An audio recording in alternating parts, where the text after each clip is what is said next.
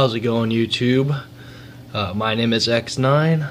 My name is actually Chris, but I go by X9 here on YouTube. I would like to show you my uh, homemade e-cig slash mod, whatever you want to call it. It is a Parkay spray butter bottle. Yeah, special, isn't it? Well, I, I uh, was making a different one just using like a regular project box, but I broke my only project box and didn't feel like going out and buying a new one, and so I decided to to do this.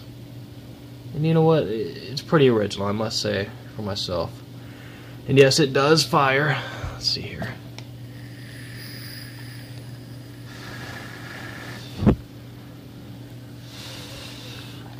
I don't know how well you can see that on camera, but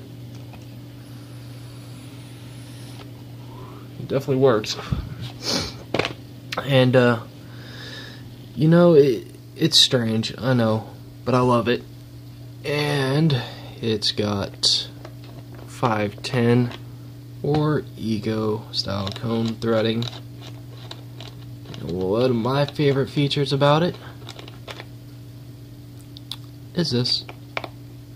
Oh, just a normal spray bottle except for the giant stupid button hanging out the side. I was going to use a different button. I was going to use this one right here. It, it would have looked a lot better. But this is uh, opposite polling of this one. So this one is uh, it's on until you press a button. It's off. So if I were to hook it up, then my atomizer would constantly be firing, and uh, until I press the button. And obviously you don't want that. So I had to find a different button. And all I had in my parts bin was this thing. But hey, it it's a monstrosity. It adds to it, makes it even cooler. I wish I could just add like another button over here. You know what? I bet I could. Add a second button. That way it's just Frankenstein, you know, giant bolt hanging out the side. Squeeze down, fire. But that would be uncomfortable, so I'm to leave it like this. You know, it, it actually looks more like a bong than anything, I will admit. But let's get on to the insides, I guess. For the uh, the uh, atomizer attachment part, I can't think of the name of it. The 510 connector. Uh, I just took it off an old Ego knockoff Ego battery, uh, or an Ego style battery, and then uh, took it off there and put it on here. Rewired it with much thicker gauge wire.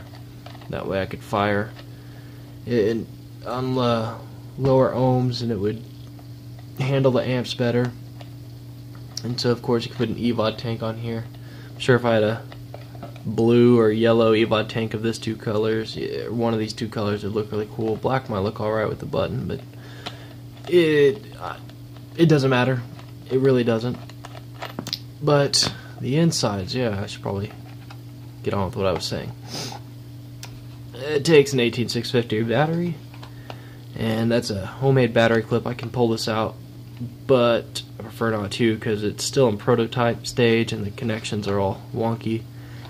Uh, but yeah, it takes an 18650. All I have is an eFest in there right now, and uh, you know it, it, works and everything. But oh, but the battery clip, uh, it's hard to find battery clips for this, especially in town.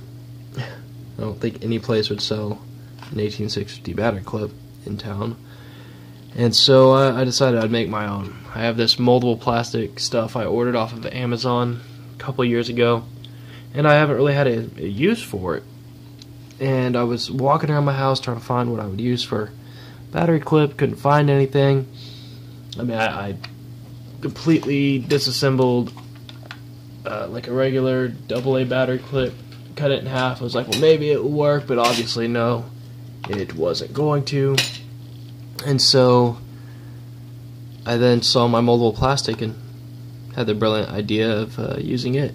Basically, with moldable plastic, you put it in warm water. It comes in these small, like white pellets about the size of BBs. And uh, you take those and you throw them in some water, some hot water, about 140, 150 degrees.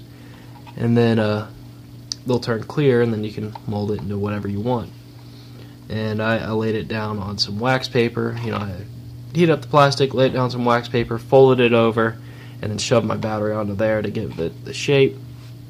And uh, then I drilled holes into the top and bottom of the plastic, and then uh, hooked up some connectors. Kind of embarrassed as to what I'm using for connectors. I wish I was using, you know, silver or something really nice, but I used paper clips. Just took some paper clips, sanded them down. They work. Hey, you know, they, they work fine. It's hard to solder to them. That's that's why you have to sand them down, but it, it works. And then, uh, yeah, I mean it. It's hitting. It's definitely not going to hit as hard as you know, like a Nemesis or something along those lines. Hell, a K100 probably hits harder than uh, this, but it's a novelty item. It's not supposed to hit really well. It's supposed to, you know, be an attention getter. And, you know, of course, there's only one of a kind here. You know, I think I'm going to engrave a, a, serial number to the bottom. You know, put like 0001 or something. Oh, wait, it's already got a serial number. Wait, no, it doesn't. It says SIO? 0IS? I, I don't know. But, anyways, you know, let's take a vape.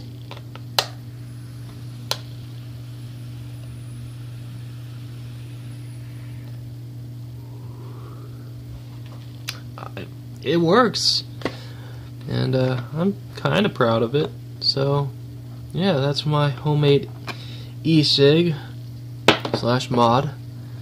That's pretty hideous, but at the same time, you gotta respect the art of mod building.